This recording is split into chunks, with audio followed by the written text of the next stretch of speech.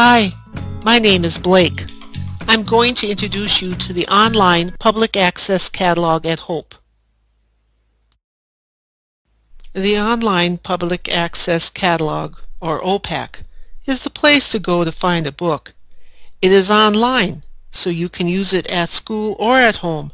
All you need is a computer with internet access. To get started, look for this box and click on Simple Search. I am almost finished reading this book. I really enjoyed it, and I wonder if the library has more books by its author. Since I know the author's name, I just need to type it in the search box. When looking for books by the author's name, type in the author's last name. Never search for a book just using their first name. Spelling counts in OPAC.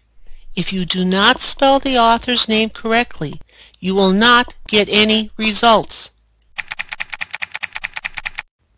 And then click on the Author button. Here are the results of our search. There are 15 books in the Hope Library by this author. The number of results for any search is shown here. This author was an easy example. Other names, though, might be harder to figure out. What do you type to find books by authors with last names like Chris Van Allsburg? Or what about Dick King Smith? Like I said before, never search for an author just by their first name. So if you wanted a book by Chris Van Allsburg, searching just by his first name Chris is not correct. The right way to search for an author with this kind of name is to type in all of the last name. It does not matter that there is a capital letter in the middle. When you are done typing, click on the Author button. Here are the results. How many books by this author are in the Hope Library? But what about an author like Dick King Smith, who has two last names with a hyphen in between? What should you type in the search box, King or Smith? When an author has two last names, type both names with the hyphen in the search box. If an author has two last names, but the names do not have a hyphen, Search by the last name only. What happens if you do not know the author of the book you want, but you think you know part of the title? Start by typing in the search box one or two words you think might be in the title. You must spell correctly all the words you type in the search box. Just like we don't search for an author by their first name, in titles, we don't need to use articles, the, a, or an at the beginning of the title.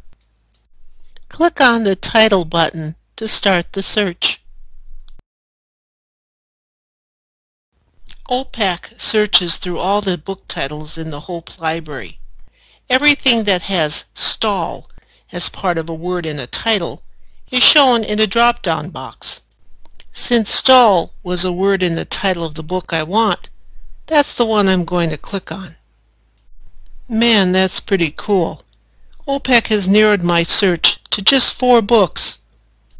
I know the book I want is not the first one, since that book is in the early book collection.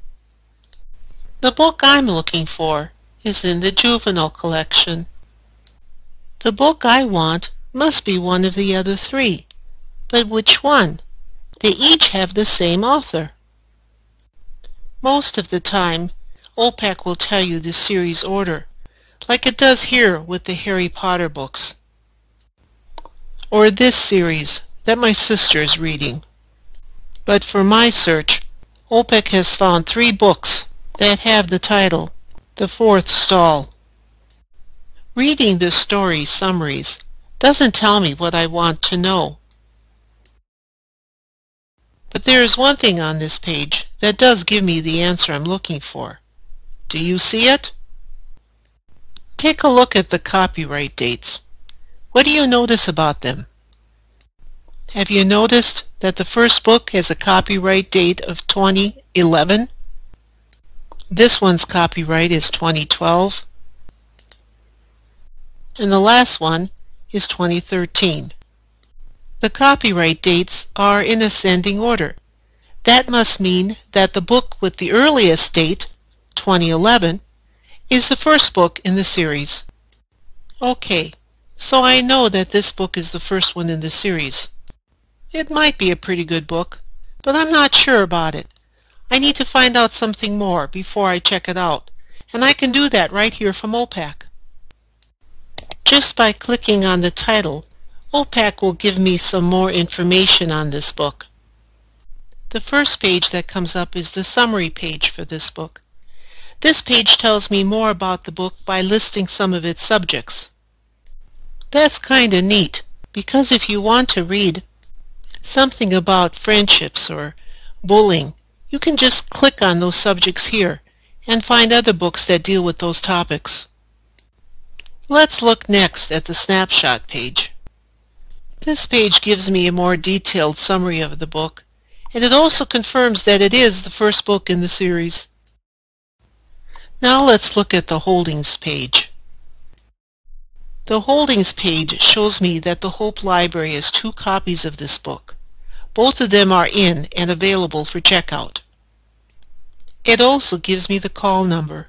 That's really important because I need to know the call number if I am going to find the book in the library. Now that I have found the book I was looking for, I want to finish up by showing you a few more things about OPAC that you need to know. I need to do a report on zebras. The best way to search for any subject is to type the subject in the search box and then click on the subject button. This first result, or hit, Plains Zebras, looks good. And OPAC shows me that the book is in the library. It has not been checked out. The book here at the bottom of the list has been checked out, so I won't find it in the library. Save yourself time and frustration. Be sure to check if the book is in or out before you go look for it. The call number for this book is here, so I could just write it down and go to the shelf to find it. But before I do that, I want to show you something else in OPAC that you will be glad to know about when you are doing any kind of research writing assignment. You have already seen the summary, snapshot, and holdings pages for the fiction book I was looking for. This is the details page for the nonfiction book on zebras. Most of the information you will need for the Works Cited page in your research paper can be found here.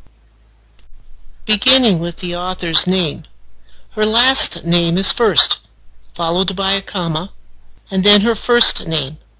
That is the way you will need to write it on your Works Cited page. Next comes the title, followed by the series title.